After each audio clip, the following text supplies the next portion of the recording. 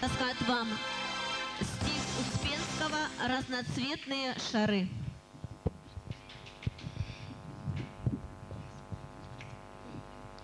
Продавец Иван Петров для продажи в парке сто раскрашенных шаров нес на длинной палке. Но случилась с ним беда, он задел за провода. И шары, отдельности в связке над бульваром носятся, в руки так и просятся. Что наделал на бульваре двухкопеечный товар? Все кричат, как на базаре, все бегут, как на пожар. Вот несутся рядышком дедушка и бабушка. Нажимают, старик подпрыгнул ловко и схватился за веревку. Получай, старуха, шар, значит, я еще не стар.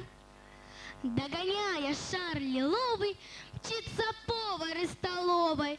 Только вот из-за шара налетел на маляра. Был он белым, стал он синим, на нем краски пол ведра.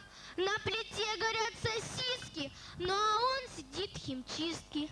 Над ларьком при магазине шар летает синий-синий, небо синего синей. Увидала продавщица и вдогонку как помчится,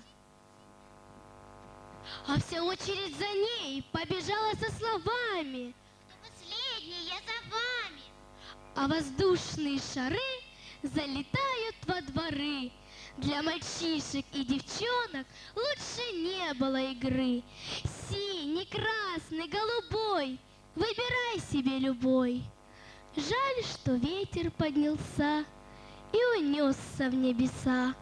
Вот шары все выше, выше, а народ все тише, тише. Улетел последний шар, и совсем затих бульвар. Солнце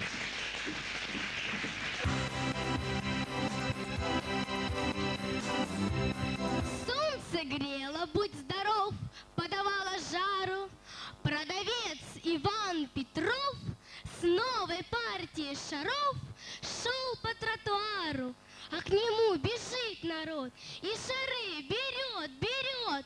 Дайте шарик, дайте пять, я хочу четыре взять. День печально начался, кончился отлично.